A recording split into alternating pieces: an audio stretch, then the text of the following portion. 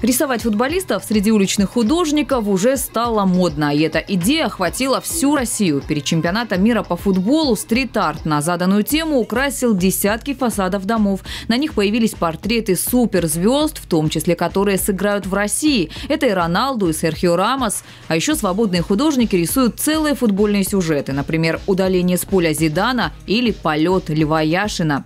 Этого выдающегося игрока эпохи 60-х нарисовали и в Сочи накануне. Так, последние штрихи, в прямом смысле слова, перед Мундиалем сделал местный художник Сергей Бадалян. Он рисовал Яшина 17 часов, хотя спортсмен достоит и больших трудов, говорит художник Лев Яшин, тот, кого называли «вратарем-пауком». Это прозвище советский футболист получил за свои акробатические прыжки и длинные все достающие руки. Сегодня же это легенда, которой могут подражать еще многие поколения футболистов. Никаких э, скрытых целей мы не преследуем.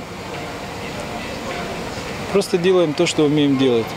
Самое главное, чтобы наше там, творчество, искусство, оно несло позитивные э, какие-то направления, явления и отражалось позитивно на людях, особенно на молодежи.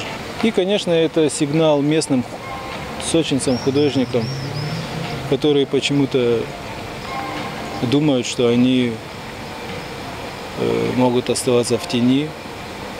Им нужно всем начинать рисовать.